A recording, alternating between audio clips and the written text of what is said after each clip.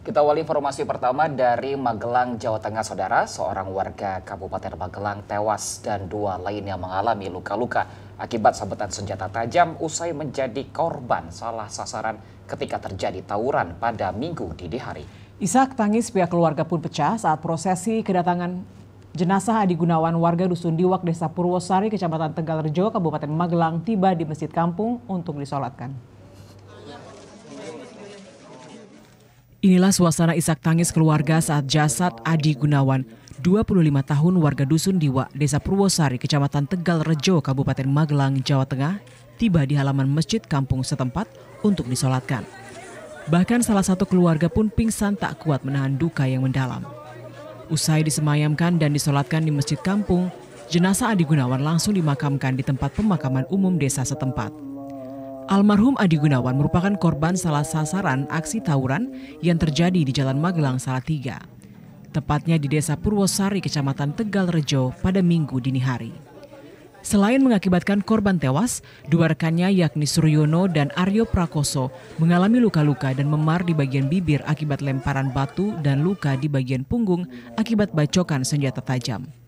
Korban Aryo Prakoso menuturkan kejadian tersebut berawal ketika korban tewas bersama warga lainnya sedang berkumpul di samping rumah milik Suyono yang berada di pinggir jalan Magelang Salatiga. Tiba-tiba ada tiga orang berboncengan sepeda motor masuk ke Dusun Diwa dan dikejar masa yang diduga pelaku tawuran.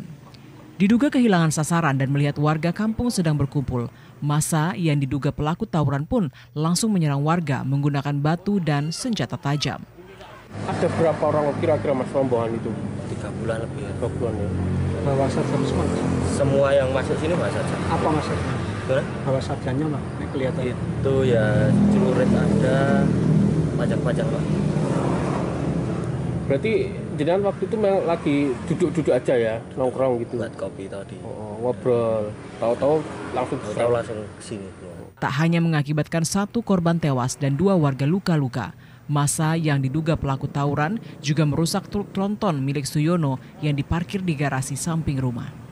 Sementara itu, Kapolresta Magelang, Kombes Pol Mustafa yang ditemui saat acara Trabas Kamtipmas di Kecamatan Bandongan membenarkan kejadian penganiayaan tersebut dan dari hasil penyelidikan sementara, pihaknya mengindikasikan bahwa korban adalah warga setempat sedangkan para pelaku merupakan pelajar pelaku aksi tawuran. Yang penusukan?